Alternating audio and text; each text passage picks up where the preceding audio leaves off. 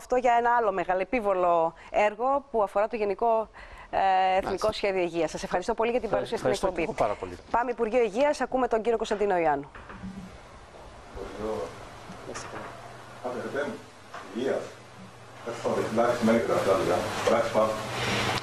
Καλησπέρα σας. Είχαμε μια α, πρώτη συνάντηση με την Κοινωνική Συμμαχία για την εφαρμογή του ΓΕΣΥ. Η Κοινωνική Συμμαχία είναι ένας σημαντικός εταίρος όσον αφορά την εφαρμογή του Γενικού Σχεδίου Υγείας. Αποτελείται από, όπως γνωρίζετε, από διάφορες συνδικαλιστικές οργανώσεις, προσωπού διάφορες συνδικαλιστικές οργανώσεις και τις οργανώσεις των ασθενών. Και ήταν μέσα στα πλαίσια ενημέρωσης ως προς το πώς προχωρούμε με την εφαρμογή του Γενικού Σχεδίου Υγείας ε, μου έχουν εκφράσει την θέληση τους και την πεποίθηση τους όπως εφαρμοστεί το σχέδιο όπως έχει ψηφιστεί ε, ομόφωνα από τη Βουλή του 2017 χωρίς οποιαδήποτε καθυστέρηση και έχουν, ε, τους έχω διαβεβαιώσει ότι ο στόχος μας και όπως το λέω Πολάκης δημοσίως ε, σαν Υπουργείο Υγείας και εμένα προσωπικά σαν Υπουργού είναι η εφαρμογή της νομοθεσίας όπως έχει ψηφιστεί ομόφωνα από τη Βουλή μέσα στα χρονικά πλαίσια που προβλέπονται από νόμο. Δηλαδή εφαρμογή 1η Έκτου 2019 ξεκινούμε με την έξω νοσοκομιακή και μετά πρώτη έκτου του 2020 με την εφαρμογή της ενδονοσοκομιακής. Αντιλαμβάνουμε ότι η Συμμαχία έχει καθορίσει κάποιες άλλες συναντήσεις και με κόμματα και με άλλους εταίρους ε, και ευελπιστούμε και προσβλέπουμε στην πολύ καλή συνεργασία που έχουμε μέχρι στιγμής.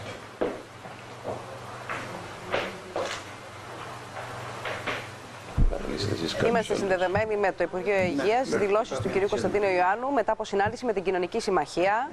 Η Κοινωνική Συμμαχία συναντήθηκε σήμερα μαζί με τον Υπουργό Υγείας για να τον διαβεβαιώσει ότι παραμένει στενός σύμμαχος του Υπουργείου Υγείας αλλά και ολόκληρης της κοινωνίας έτσι που σε έξι μήνες από σήμερα όπως έχει σχεδιαστεί να ξεκινήσει η πρώτη φάση του Γενικού Σχεδίου Υγείας να γίνει με τρόπο ομαλό για να μπορέσουμε επιτέλους να δώσουμε στους συμπολίτες μας ένα αξιοπρεπές και ποιοτικό σχέδιο υγείας χωρίς ε, οποιασδήποτε ε, διακρίσεις.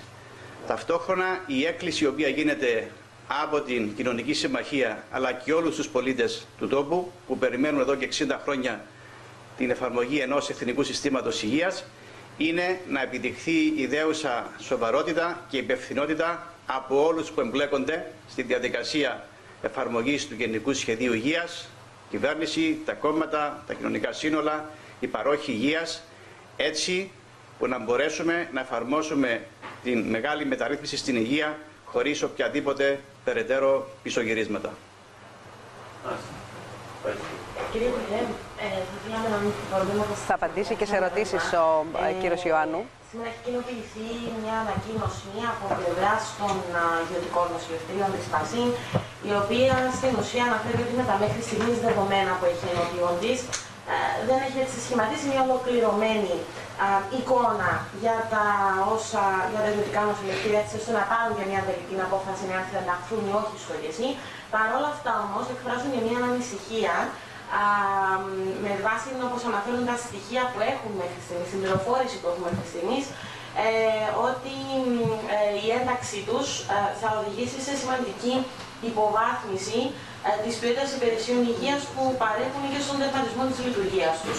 Ε, πώς απαντάτε εσείς σε, σε αυτό; Εντάξει, ε, έχω διαβάσει εγώ την ανακοίνωση σήμερα. Αυτό είναι καθαρά θέμα διαβούλευσης με τον Οργανισμό Ασφάλεια Υγείας. Θεωρώ ότι ε, με την απαραίτητη ε, συζήτηση που πρέπει να γίνει, να ενημερωθούν ε, σωστά για τα οικονομικά δεδομένα, διότι αντιλαμβάνεστε και ήδη στην ανακοίνωση τους λένε ότι με τα μέχρι στιγμής δεδομένα που έχουν. Ε, εδώ να αναφέρω κάτι. Πριν ε, τρεις μέρες κυκλοφορούσαν ευρέως από και από γιατρούς και ακόμα και γιατρούς κλινικάρχες ότι πέντε νοσηλευτήρα δεν θα ενταχθούν. Ανταυτού βλέπουμε ότι όχι μόνο δεν, δεν υφίσταται κάτι τέτοιο, αλλά η πρόθεση της, ε, των, των ιδιωτικών νοσηλευτήριων είναι να γίνει μια διαβούλευση. Προχωρούμε τη συζήτηση ενός, με τον Οργανισμό Ασφάλεια Υγεία για να ξεκαθαριστούν, για να ξεκαθαρίσουν πλέον και τα οικονομικά δεδομένα, διότι τώρα ξεκίνησε, πριν ένα μήνα έχουν κοινοποιηθεί τα οικονομικά δεδομένα. Θεωρώ ότι με την, με την συνέχιση των διαβουλεύσεων και τη σωστή ενημέρωση θα μπορούν να πάρουν πλέον τις σωστές τους αποφάσεις. Ε, να αναφέρω όμως κάτι. Ε, έχει, έχει διαρρεύσει στον τύπο ότι και μεγάλων α, φαν του εξωτερικού έχουν έρθει πρόσφατα στην Κύπρο ε, για εξαγορά ιδιωτικών νοσηλευτηρίων. Και εξ όσων γνωρίζω, έναν ιδιωτικό νοσηλευτήριο, μπορεί να είναι και λάθος οι πληροφορίες μου, αλλά σίγουρα το ενδιαφέρον υπάρχει. Ένα ιδιωτικό νοσηλευτήριο ήδη έχει κάνει μια προκαταρκτική συμφωνία. Και ρωτούμε πώς είναι δυνατόν funds ε, των δισεκατομμυρίων του εξωτερικού έρχονται και αξιολογούν και θέλουν να εξαγοράσουν ιδιωτικά νοσηλευτήρια όταν κάνεις μια εξαγορά την κάνεις για την προοπτική που βλέπεις στο μέλλον. Εάν η προοπτική ήταν αρνητική με τα δεδομένα που θεωρούν κάποιοι ότι προτείνονται, ποιος ο λόγος να έρθει κάποιος να εξαγοράσει τώρα νοσηλευτήρια; Προφανώς υπάρχει πρόθεση για εξαγορά ε, η επένδυση, δεν είναι θέμα εξαγορά, σε ιδιωτικά νοσηλευτήρια, διαβλέποντας τις, ε, ε, τις οικονομικές, τις καλύτερες οικονομικές ε, αποδόσεις που θα έχουν στο μέλλον. Κύριε Νοράλη, Υπουργέ, ετοιμαστεί για ένα υπόμνημα με αντισταθμιστικά μέτρα, το οποίο θα έρθει και κοντά σας και στον Υπουργό Οικονομικών για να αποφευθεί, όπως λένε, ε, ο αθέμητος ανταγωνισμός ε, τα προσεχείς πέντε χρόνια που ουσιαστικά τα δημοσία νοσηλευτήρια θα στηρίζονται από το κράτος. Ε, περιμένουμε να δούμε το υπόμνημα. Αυτό είναι θέμα του Υπουργείου Οικονομικών.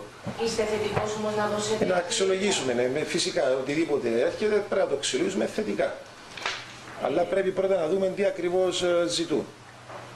Έχετε λάβει και την α, α, επιστολή από τον Παγκύπριο Σύλλογο Όχι. ή ακόμα δεν έχετε. Όχι.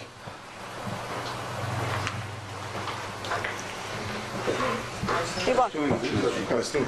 ολοκληρώθηκαν και ε,